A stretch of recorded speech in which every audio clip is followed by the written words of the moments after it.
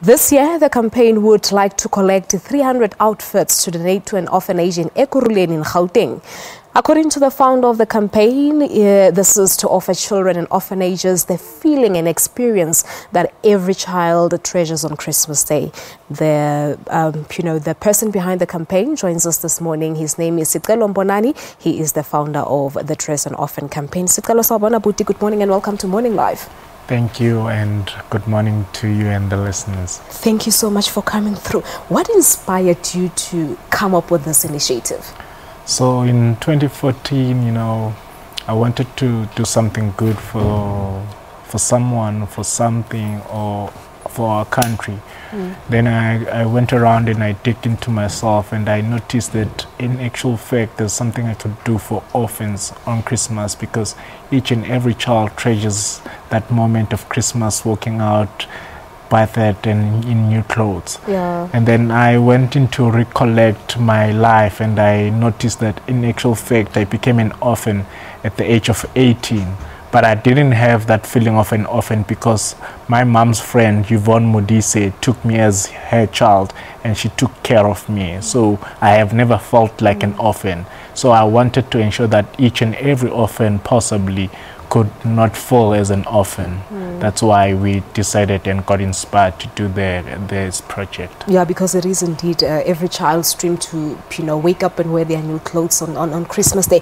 But how has the campaign been? Are, are people really responding to, to your call to donate? People are, are, are responding. We get to lose some now and again. Currently, we lost about 13 donors for for this campaign, but we are trying to regain that. Mm. But there's Reason more. Is it perhaps the current economical state of things in South Africa? Probably yeah. they overspent, and you know now they cannot buy. Mm. Different reason for different individual, but it has been going well and from the orphans perspective, you know, the experience we have each and every time we meet them, you know, they are ones who keep the notes. We write messages to them. They keep the notes and show us a year later that this was the note I got last year. I mean, they're so happy, you know. We just use clothes to make a change in somebody's life, you know. It goes longer than the clothing on mm. Christmas gives them the idea and the feeling that somebody out there cares about me. Yeah. I'm human enough and I can Sense belong. Sense of love and appreciation. Yes, mostly. I belong in this yeah. world. You know, yeah. I'm not just an orphan. Mm.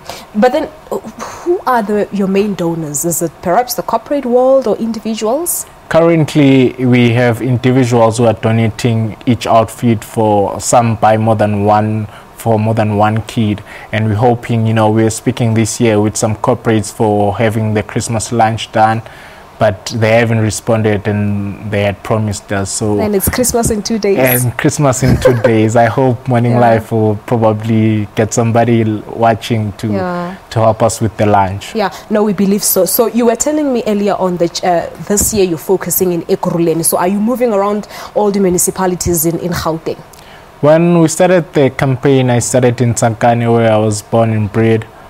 And then I, second year, I adopted another township next to us.